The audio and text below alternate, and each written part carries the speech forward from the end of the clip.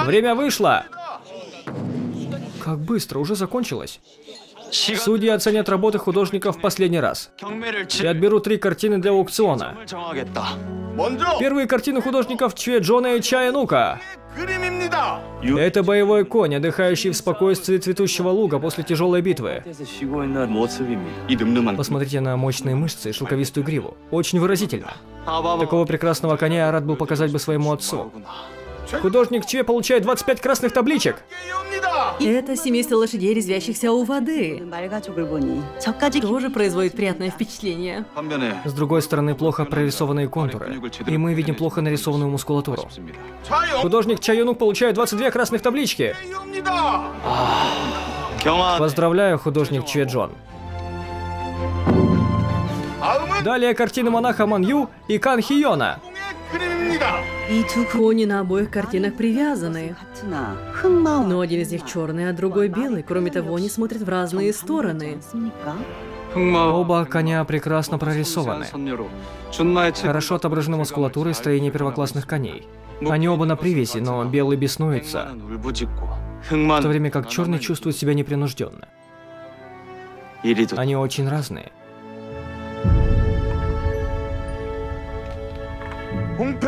Художник Кан получает 24 красных таблички.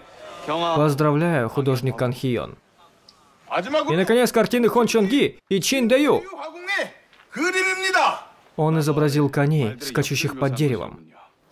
Гибкие ветви в цвету отражают весенний ветер, а скачущие кони придают картине объема. Резкие мазки также придают картине живости. Во взгляде коня можно увидеть весну во всей ее красе. Это великолепная картина. Поднимите ваши таблички! Художник Чиндую получает 29 красных табличек!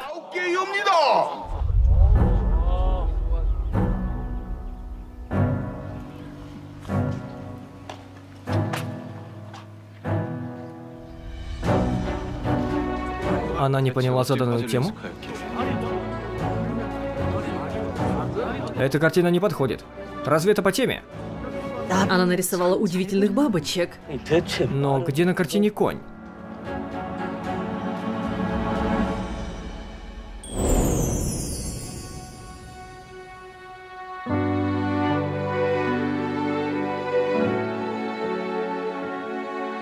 Потрясающее раскрытие темы. Она нарисовала бабочек, кружащих в ароматах, поднятых промчавшимися через лук лошадьми.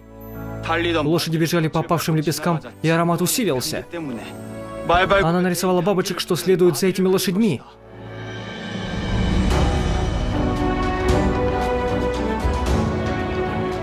Неожиданная передача темы. Я здесь в роли судьи, но тоже получила сегодня урок.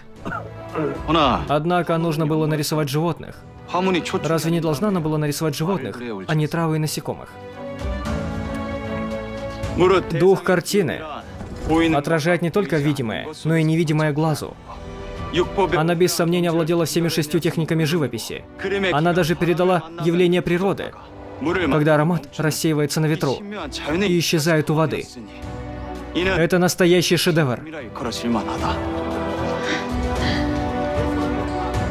Последний раз поднимите свои таблички, чтобы оценить работу Хон Чон Ги!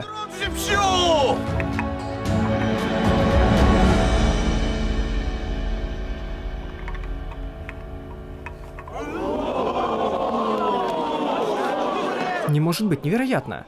Ну, Открой глаза, художник Хон Чонги. Поверить не могу.